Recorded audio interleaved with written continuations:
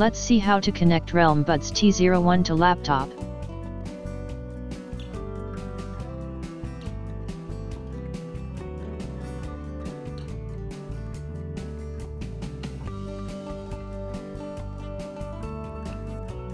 Bluetooth buds showing up on your laptop.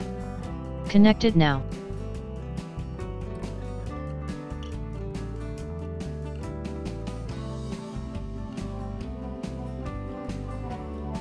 If your Bluetooth buds are not showing on your laptop, then go to the second method.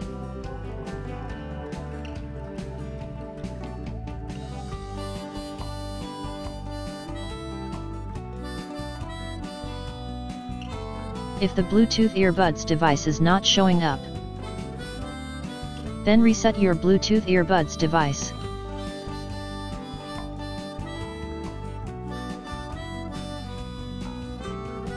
These are touch screen buttons. Press and hold the touch screen button on the earbuds for 10 seconds. Then your Bluetooth earbuds will be reset.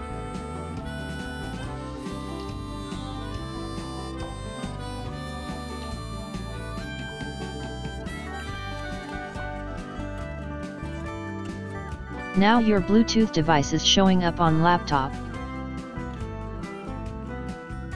Now connect your Bluetooth device and enjoy the music.